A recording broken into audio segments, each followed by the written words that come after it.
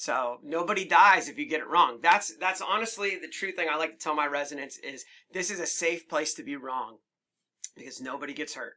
And and that is a, an honest piece of advice that I think we should all learn from is in the setting of of uh, didactic type discussions.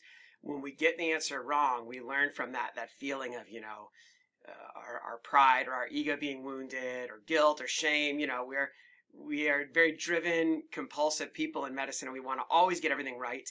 And when we don't, we feel bad about it. We shouldn't feel bad. I mean, to not know everything because it's impossible to know everything. But but getting the answer wrong in a group setting, you remember it better. I remember stuff that I got wrong as a resident, even in conferences, and and I learned from that. So it's a great way to learn when you feel a little bit more pressure, but nobody gets hurt uh, when you're wrong in the the conference uh, lecture setting.